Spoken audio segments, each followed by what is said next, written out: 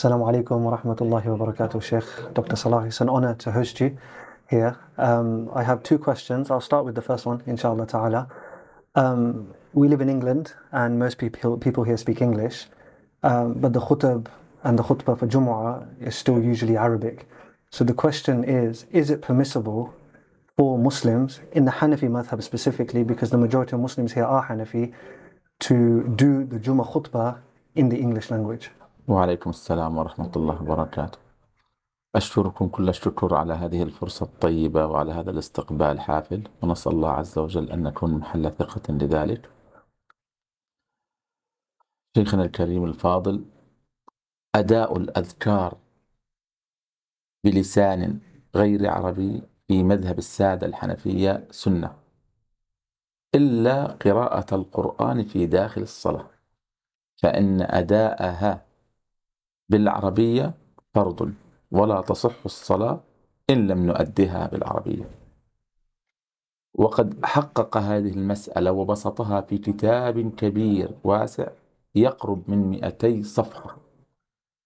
الإمام عبد الحي اللكنوي اسم الكتاب آكام النفائس في أداء الأذكار بلسان فارس يعني ما حكم أداء الأذكار المختلفة في الصلاة وفي غيرها وفي وفي خطبة الجمعة وفي الذبح وغير ذلك بغير اللسان العربي.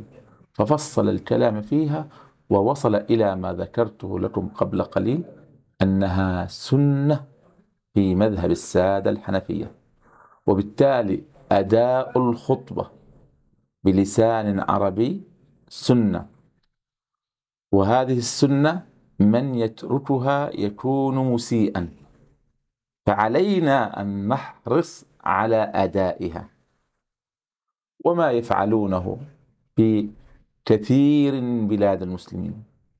أن يجعلوا جزءا من الخطبة بلسان عربي وجزء آخر بغير لسان عربي ليوصلوا ذكر الله للناس حيث يرشدونهم في هذه الدقائق المعدودة إلى ما ينفعهم في الدنيا والآخرة.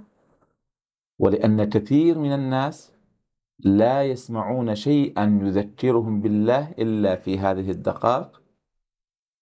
فشيء جميل وحسن ومثله لا ينكر. والأمر في تحديد هذا سيتفاوت من بلاد إلى أخرى؟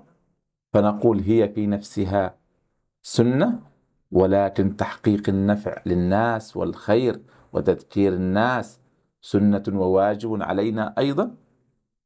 فإن لم يتسنى لنا سوى هذه الطريقة فلنحرص عليها ولو في جزء من خطبة الجمعة ولا ننكر على بعضنا فعلها. ونسأل الله عز وجل أن يعفو عنا تقصيرنا بعدم أدائها بلسان عربي كامل. الله أعلم.